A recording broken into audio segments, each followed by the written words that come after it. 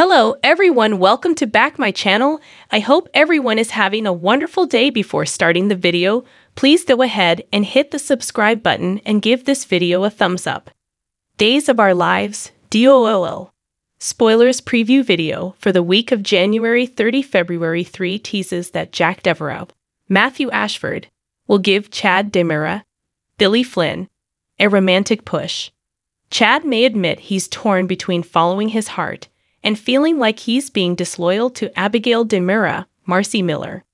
However, Jack will understand that maybe it's time for Chad to move on and find love again.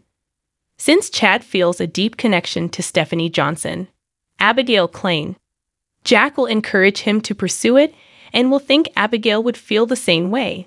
Soon after, Chad will show up on Stephanie's doorstep and confess his true feelings. Despite Alex Kiriakis, Robert Scott Wilson, desperate attempt to win Stephanie back, she'll move forward with Chad and ultimately hit the sheets with him.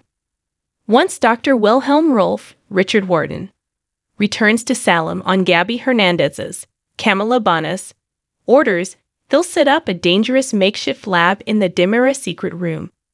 There'll be some snags when it comes to Stefan DiMera's, Brandon Barash, deprogramming procedure, but Gabi will try to have faith that it'll all work out.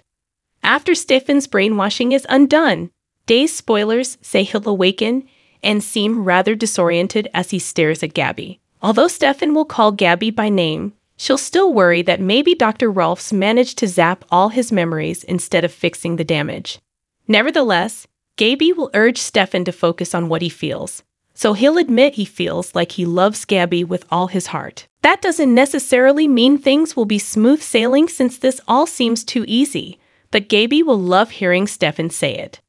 Other days spoilers reveal Chrishell Stause will reprise her role as Jordan Ridgeway, so look for Kate Roberts Brady, Lauren Koslow, to cross paths with her old enemy somewhere surprising. Welcome to Purgatory, honey, Jordan tells Kate in Duo's weekly preview video.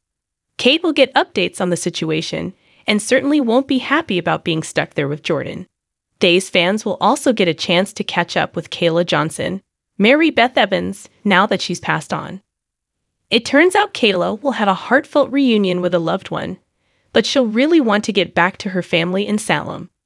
Of course, Marlena Evans, Deidre Hall, is also dead and was recently misled by the devil posing as Susan Banks, Stacy Haiduk. All three women will go on a wild journey, but a back from the dead bombshell isn't too far away.